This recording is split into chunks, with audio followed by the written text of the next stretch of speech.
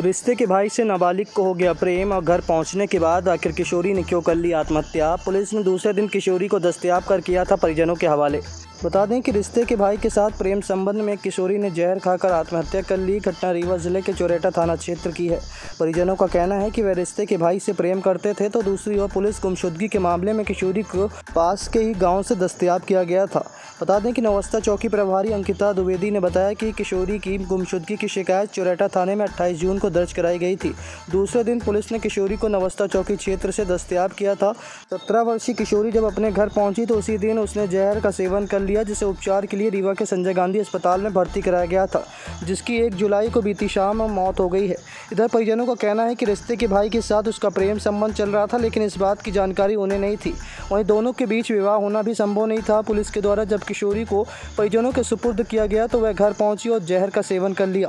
किशोरी की मौत होने के बाद संबंधित थाने की पुलिस मौके पर पहुँची है, जहाँ मामले की गंभीरता से जाँच की जा रही है। हमने कुछ नहीं कहा लड़की को सर।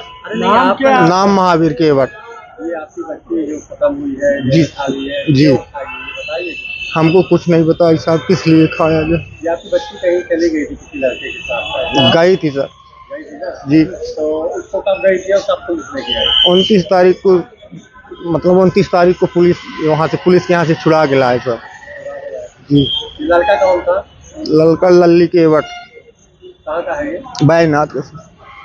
ये बताया जाने का शादी होगी इससे इनकार कर दिया इसलिए बच्ची ने अब हमको तो नहीं मालूम सर कि शादी करने के लिए इनकार किया कि नहीं किया।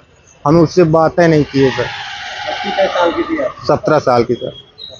लड़का? लड़का बीस साल का। ये आपके उसका आ,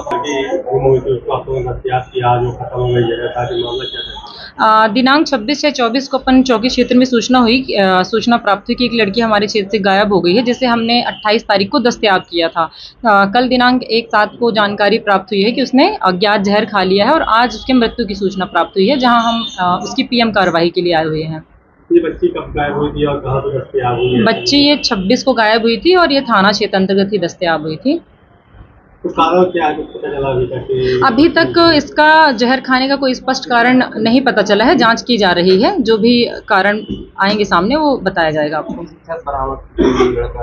वो अपने एक रिश्तेदार के साथ ही हुई थी बरामद।